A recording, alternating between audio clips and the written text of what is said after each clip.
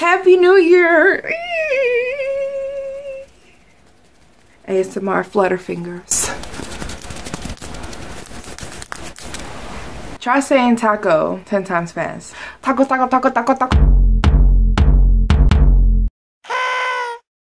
Hey Cakenistas, it's Marisha. You lift me up. My favorite taco, okay, the flour shell, the cheese sauce, the hard shell taco. I do like the ground beef. I might do like jerk diced chicken, fresh lime juice, and a lot of cheddar cheese, a lot of fresh lettuce. Just a little, little tomato, a little diced tomato, because I'm not a big tomato person. If you can't tell, you guys, we're gonna be talking tacos. I'm gonna show you guys how to make these adorable little realistic taco cupcake toppers.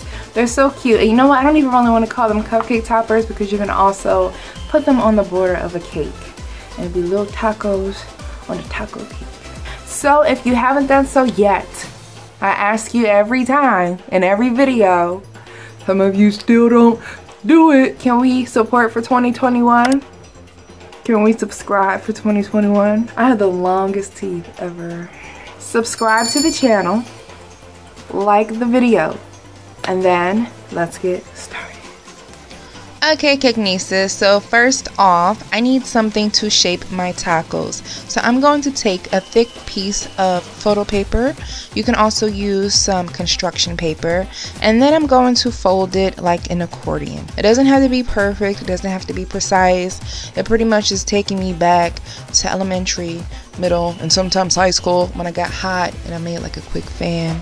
So I started off with taco shells. You can make these little tacos with cookies. You can use like vanilla cookie wafer and you would have your frosting and then you would stick the cookies in the frosting like that so that really all you see is a V shape which would be a perfect shell. So if you don't want to use tortillas because you feel like, eh, I don't want tortilla on a cupcake, even though it's cinnamon sugar topped, I'm not judging. You can also use cookies and I'm going to use a round cookie cutter to cut out mini tortilla shapes.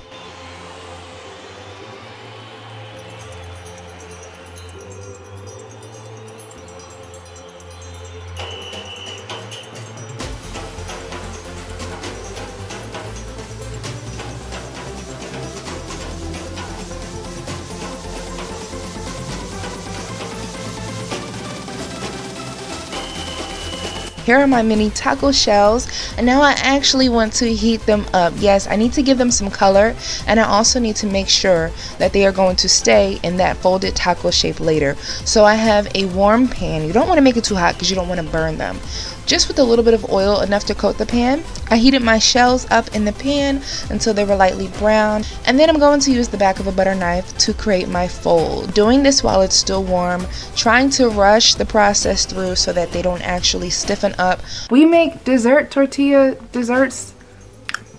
I said that funny but we make dessert tortilla things. Don't use the corn tortillas. Don't do that. Um, I think that would be kind of like, ooh, she put a corn tortilla on a cupcake. And then I'm going to sit them right in the creases of my accordion folded paper. Tell me that's not innovative.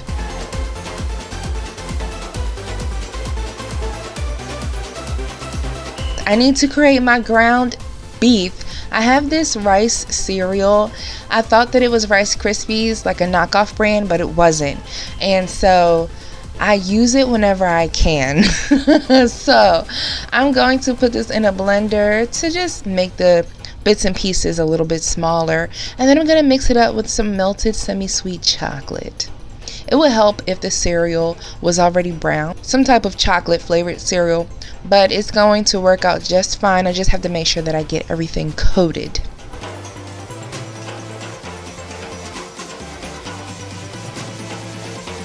Now I do want my taco shells to have flavor, not just to be like, you know, pieces of fried bread. So I'm going to dust them with some cinnamon sugar. Delicious. It took me back to when I made my nachos. Remember my nachos video? You should watch that one after this one. So I'm going to put my ground meat onto my taco shell. It is already giving me all types of realism. These are the cutest little tacos already. Okay. Oh, this is so great.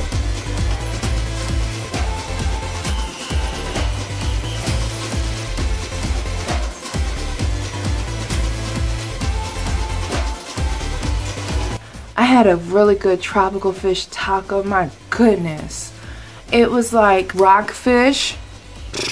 If you haven't had rockfish, go look somebody up to get some. Um, a little bit of mango, mamacita, cilantro. Knock somebody's socks clean off. It almost makes me hungry, hungry. Okay, now we need lettuce. So I have some shredded sweetened coconut, and I'm going to just dye that with a little bit of green gel dye. You can use a light gel dye, a light green, which will give it that really realistic look.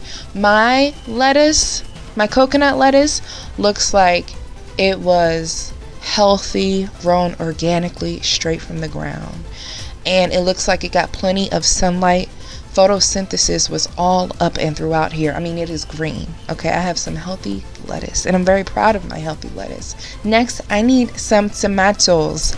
I'm going to use the cherry flavored pull and peel Twizzlers. Why am I so excited? Because, for one, these are going to make the perfect little tomato candies and then secondly, I just love these Twizzlers. They're so delicious. If you've never had pull and peel, woo, something's wrong. I can easily cut them and then break them apart.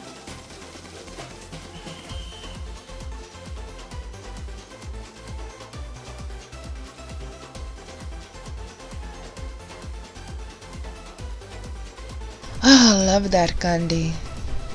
As soon as I'm done this voiceover, I'm going to take a bite of one that I have. Okay, I need some shredded cheese.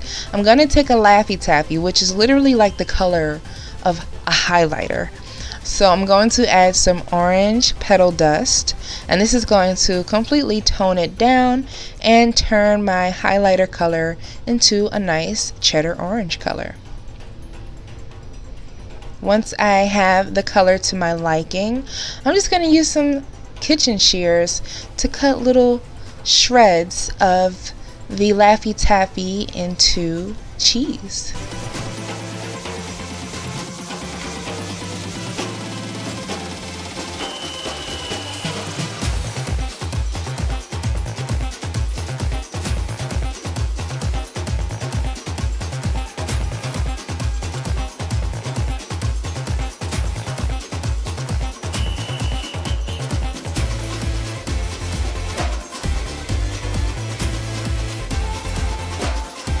This looks amazing.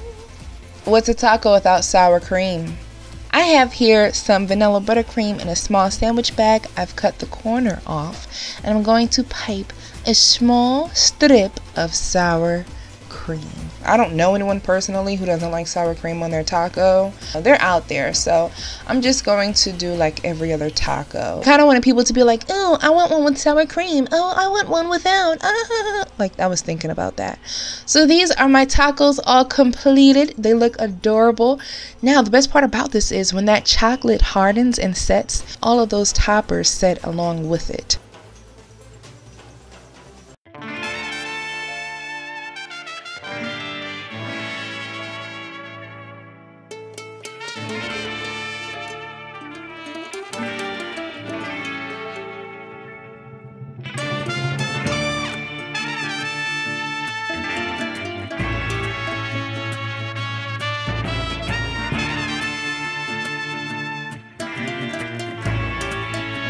It should taste delicious, right? Chocolate, a little bit of cinnamon, a little bit of coconut. That is how I made my realistic miniature taco cupcake toppers. I hope that you guys enjoyed this. Let me know what you like in your tacos down below and I will see you guys soon. Couture in a taco cupcake. Bye guys. Let's pick a Cakenista or Kegnisto comment. Hold on because I got a lot to choose from now because y'all been commenting. I have heartburn. This one excites me. Okay, so the Cake Cakenista comment of the day goes to Kim M. On my Chick-fil-A nugget video, Kim says, just ran across your page while randomly searching. That's always the best. When you are randomly searching and you just hit a little jackpot and something that just connects with you, and it's like, I'm gonna subscribe. Yes, that's a good feeling. So glad you are talented and entertaining. Hashtag subscribed. Thank you so much, Kim M. Right above your comment, Nawu Nawu says, great advices. Oh, advices. Nice. Thank you, Nawu Nawu, also. I'm, I'm, I can't help it, Nawu. I just, I'm, I'm silly. Do you want a song? I'm never gonna dance again. Guilty feet, I've got no rhythm. Never cared to learn the words past that one part. We have to have a little bit of Christmas. I don't care if we go into February with this because I didn't have not one single Christmas video, but I have a lot though. Guess who this is? Guess who this is? Okay. Knees. Oh man. Angel voice. It's the accent for me. Oh, night. Oh, night divine. Noel.